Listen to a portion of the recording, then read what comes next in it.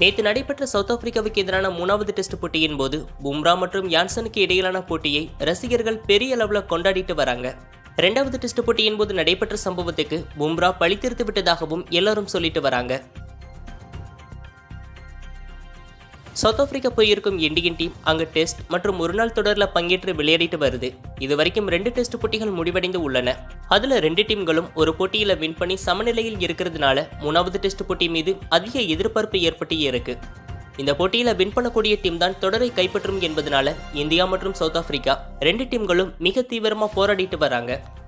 இந்த நிலையில தான் இரண்டாவது டெஸ்ட் போட்டியின் போது இந்திய வீரரான பும்ராவுக்கும் சவுத் ஆப்பிரிக்கா வீரரான யான்சனுக்கும் இடையே ஒரு மோதல் ஏற்பட்டது. இந்தியன் டீம் செகண்ட் இன்னிங்ஸில் பேட்டிங் பண்ணும்போது சவுத் ஆப்பிரிக்கா பவுலரான யான்சன் பும்ராவை தாக்கும் விதத்தில் தொடர்ந்து பவுன்சர்களை வீசிட்டு வந்தார். இதையடுத்து பும்ராவுக்கும் யான்சனுக்கும் இடையே சிறிய மோதல் ஏற்பட்டது.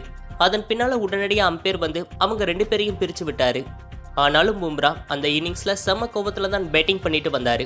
அதன் பின்னால் சவுத் ஆப்பிரிக்கா டீம் செகண்ட் இன்னிங்ஸில் பேட்டிங் பண்ணாலும் கூட யான்சனுக்கு பவுலிங் பண்ணும் வாய்ப்பு பும்ராவுக்கு கிடைக்கல. செகண்ட் இன்னிங்ஸில் சவுத் ஆஃப்ரிக்கா டீம் வெறும் மூணு விக்கெட் மட்டுமே பறி கொடுத்து அந்த போட்டியில் வின் பண்ணி இருந்துச்சு. இந்த நிலையில தான் அந்த சம்பவத்துக்கு பின்னால நேற்று மறுபடியும் யான்சனுக்கு பவுலிங் பண்ணும் வாய்ப்பு பும்ராவுக்கு கிடைச்சது. மூணாவது டெஸ்ட் போட்டியில் ஃபர்ஸ்ட் பேட்டிங் பண்ண இந்தியன் டீம் இருநூத்தி இருபத்தி மூணு ரன்களுக்கு எல்லா விக்கெட்டையும் பறி கொடுத்துச்சு. அதன் பின்னால பேட்டிங் பண்ண சவுத் ஆப்பிரிக்கா டீம் ஆரம்பத்தில் கொஞ்சம் தடுமாறினாலும் கூட அதன் பின்னால கீகன் பீட்டர்சன் அந்த டீமை மீட்டெடுத்தாரு. இந்த நிலையில தான் சவுத் ஆப்பிரிக்கா டீம் டீம் பிரேக்குக்கு முன்னால ஆறு விக்கெட் பறி கொடுத்து இருந்துச்சு. இதனால டீ பிரேக் வர்றதுக்குள்ள மேலும் ஒரு விக்கெட்டை கைப்பற்றிட்டா போட்டி இந்தியாவுக்கு சாதகமாக வந்துடும் என்பதுல இந்தியன் டீம் வீரர்களும் தீவிரமா இருந்தாங்க.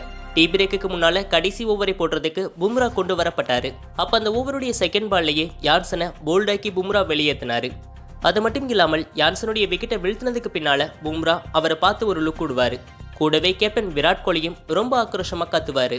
இதை பார்த்த ரசிகர்கள் எல்லாரும் போன போட்டியில யான்சன் பண்ணதுக்கு இப்ப பும்ரா பழி பழித்தீர்த்துட்டாருன்னு அவரை பாராட்டிட்டு வராங்க. இதுக்கு முன்னால் இங்கிலாந்துக்கு எதிராக நடைபெற்ற போட்டியிலையும் இதே போல ஒரு சம்பவம் நடைபெற்றது. இங்கிலாந்து டீம் பேட்டிங் பண்ணும்போது பும்ரா மற்றும் ஆண்டர்சனுக்கு இடையே ஒரு குட்டி மோதல் ஏற்பட்டுச்சு. இதையடுத்து இந்தியன் டீம் பேட்டிங் பண்ண வந்தப்ப இங்கிலாந்து பவுலர்கள் எல்லோரும் பும்ராவுக்கு அடுத்தடுத்த பவுன்சர்களை வீசி தாக்குதல் கொடுத்தாங்க.